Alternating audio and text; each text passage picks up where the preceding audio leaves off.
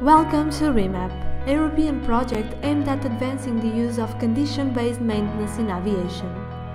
Every day, the world's skies are crossed by over 1 million flights. Ensure services reliability and passenger safety is key to these numbers. And although we as passengers don't see it, it largely depends on an effective and efficient aircraft maintenance. So, how is aircraft maintenance performed today?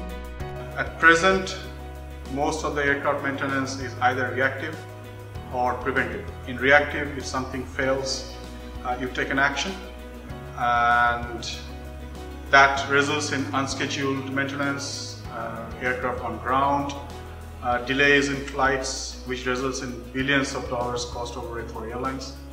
The second approach is a preventive, where you do regular uh, scheduled maintenance and you replace parts whenever the specified uh, time period mentioned by the manufacturer. Our approach provides the best balance between services security and reliability on one hand, and economic costs of aircraft maintenance on the other. REMAP will develop an integrated fleet health management solution that will enable a strategy to identify aircraft parts that are actually damaged or replace the ones that are close to failure. Our solution will collect sensor data. So collect information from sensors, uh, leveraging uh, sensors that already existed in the aircraft, but also maturing uh, sensors uh, that can uh, monitor the structural health of uh, aircraft in the future. Develop diagnostics and prognostics algorithms. The development of new diagnostic methodologies, diagnostic methodologies that are able to answer to uh, the question if there is or there is not damage in a structure, that is anomaly detection, to localize where damage is, and uh, last but not least, assess the severity of damage. And create a maintenance planning tool.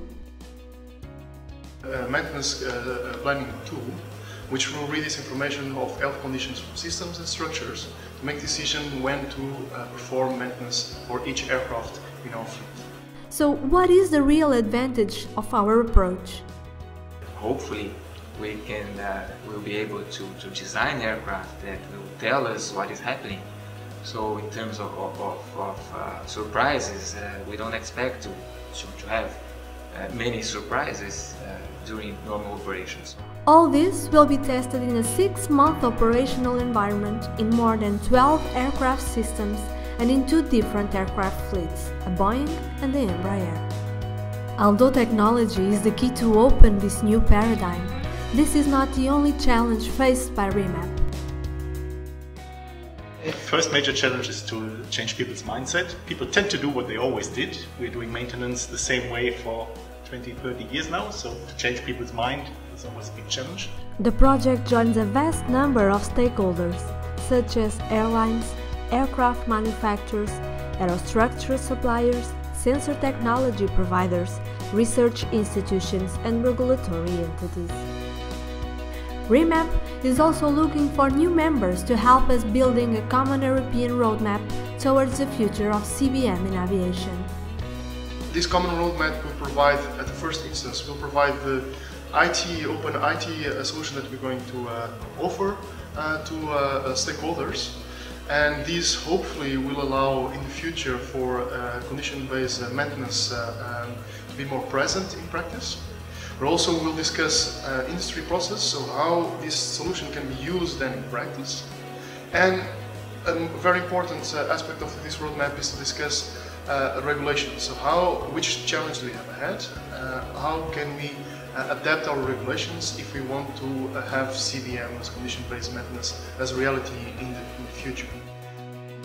Uh, KLM uh, is finds itself to be one of the pioneers in aviation. We're actually still the oldest airline operating under its original name, so we've been flying almost 100 years. And uh, well, if we want to fly hundred years more, we will definitely have to move along with this innovation as well and use data to leverage our maintenance. Fly with us in this trip to the future of aviation.